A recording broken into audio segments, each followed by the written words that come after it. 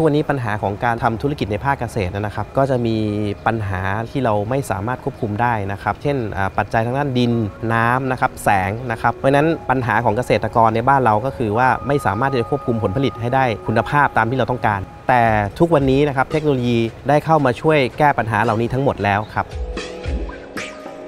สวัสดีครับ หนุ่มคมสันครับผู้พัฒนาระบบโรงเรือนเกษตรอัจฉริยะครับ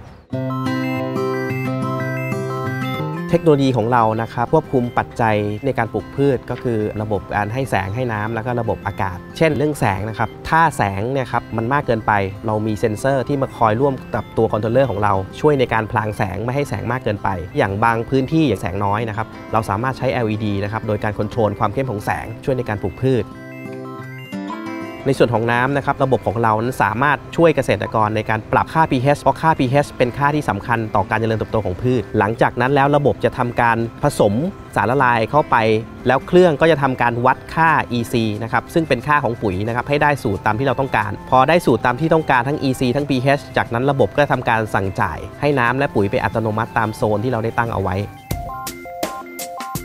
ในเรื่องของอากาศเรามีการควบคุมอุณหภูมิ และความชื้นแบบอัตโนมัตินะครับยกตัวอย่างเช่นถ้ามีอุณหภูมิสูงขึ้นนะครับจะมีระบบคอยเปิดพ่นหมอกเพื่อลดอุณหภูมิในช่วงเวลากลางวัน นอกจากนั้นก็จะมีการควบคุมพัดลมในโรงเรือนนะครับเพื่อจะดูดเอาอากาศที่มันมีความร้อนสูงออกไปภายนอกโรงเรือน สิ่งนี้ก็จะช่วยลดอุณหภูมิในระหว่างวันได้โดยเฉพาะในบ้านเรานะครับจะพบปัญหาเรื่องของความร้อนสูง การที่เราเอาระบบอัตโนมัติ หรือเอาเทคโนโลยีเข้ามาช่วยในการปลูกพืชในระบบแบบนี้นะครับก็จะช่วยชดเชยในส่วนที่การขาดแรงงานลงนะครับแทนที่เราจะต้องใช้คน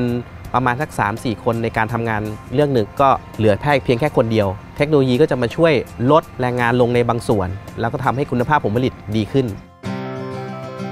นอกเหนือจากนั้นนะครับเรายังออกแบบระบบ mobile lab ขึ้นมานะครับ mobile lab มีประโยชน์ยังไงครับ การที่เราจะตั้งโรงเรือนหรือจะปลูกพืช เราควรจะต้องเช็คสภาพอากาศสภาวะแวดล้อมก่อน แล้วเราก็จะเอามาคุยกับเกษตรกรได้ว่าพืชที่เขาต้องการปลูกเนี่ยมันเหมาะสมกับสภาพแวดล้อมที่เขามีหรือไม่ สิ่งนี้ก็จะช่วยในการที่จะลดการสูญเสีย ถ้าเกิดว่าเราตั้งฟาร์มไปแล้ว หรือว่าเราวางระบบไปแล้ว แล้วอากาศกับแสงไม่ได้เพราะว่า mobile lab ของเรานี่สามารถวัดค่าต่างๆ ในการเกษตรได้เกือบครบทุกตัว